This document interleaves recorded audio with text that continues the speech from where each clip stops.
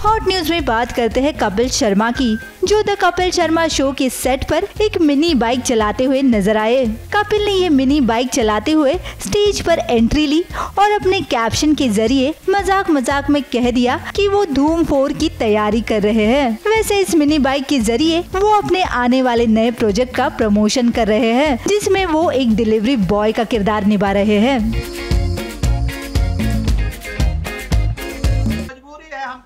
मजबूरी है मेरी बताइए। मैं अभी आपको बताती हूँ। मैं अभी आपको बताती हूँ कि मैंने ओए होए होए होए।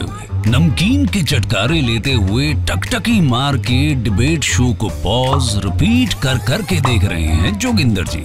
इनकी तरह आप भी देखें अपने फेवरेट डिबेट्स को रिपीट कर। और डाउनलोड कीजिए एबीपी लाइव ऐप अपने स्मार्ट टीवी पर।